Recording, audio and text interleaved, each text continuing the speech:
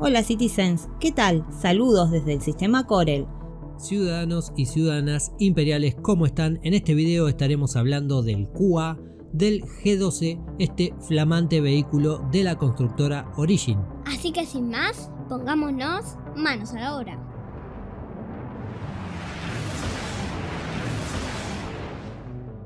Tenemos un nuevo preguntas y respuestas donde nos hablaron del vehículo de Origin que aún se encuentra en etapa conceptual. Comenzaron preguntando si podremos intercambiar la torreta de misiles que posee la versión G12A por una tradicional de armas láser o balísticas y nos dijeron que no podremos hacer esto. Nos dicen que donde quepa un Ursa Rover también lo hará el G12 en referencia a si entrará en la Mercury Star Runner.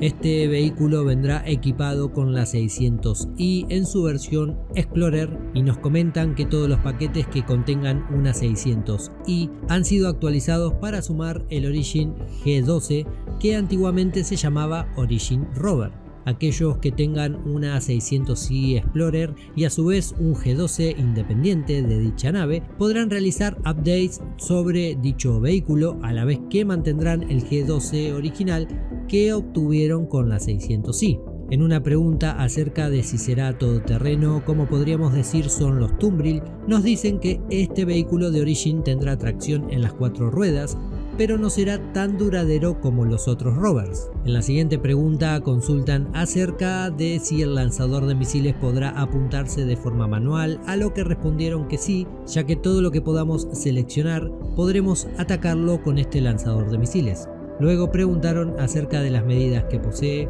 en comparación con el Ursa Rover tradicional de la constructora RSI y dijeron que el objetivo de los desarrolladores es que como dijimos antes donde quepa uno, caberá el otro. El Ursa tiene entre 5.2 metros a 5.5, en tanto que el G12 tendrá 5.5 metros a 5.7. Se van a asegurar que ambos vehículos quepan en las mismas naves. Consultaron acerca de cuándo deberemos utilizar el pulso electromagnético durante una carrera y la respuesta fue que esta utilidad no solo está diseñada para las carreras, sino también puede usarse como sistema de defensa para escapar de los diferentes enemigos. En una carrera podría utilizarse para apagar los motores de otro vehículo y así obtener cierta ventaja.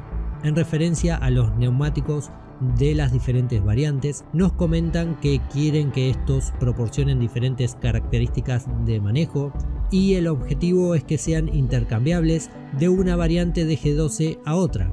Algo similar ocurriría con otros vehículos tal como sucederá próximamente en las naves con los propulsores intercambiables entre estas.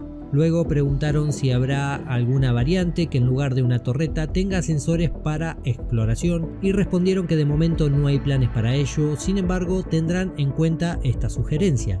Llegado el punto de comparación con el Ursa Rover y su armadura, nos comentaron que ese vehículo está mejor blindado pero es más lento. De la serie G12 la versión A es la mejor blindada, pero aún así será más débil que un Ursa Rover. Dicha versión, o sea el G12A, vendrá equipado con las mismas contramedidas que poseen las naves espaciales.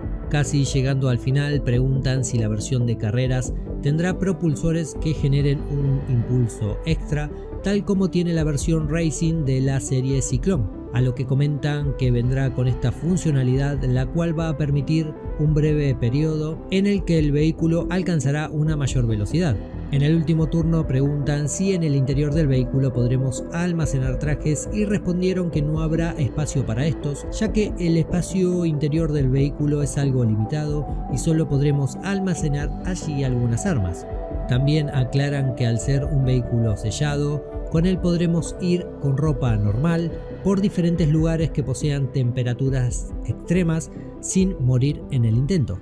Bueno, ciudadanos y ciudadanas, hasta aquí este preguntas y respuestas de este flamante vehículo de origen. Espero que les haya servido, los invitamos como siempre a suscribirse si aún no lo han hecho, pueden seguirnos en nuestras redes de Twitch, Instagram, Twitter y Facebook. Y recuerden dejar su comentario que siempre es un gusto leerlo y saber sus opiniones del proyecto. Así que como ven estamos con compañía y con ella nos vamos deseándoles ambos una gran vida a todos. Y ya saben, si salen al verso, vuelen seguros. Adiós. Adiós.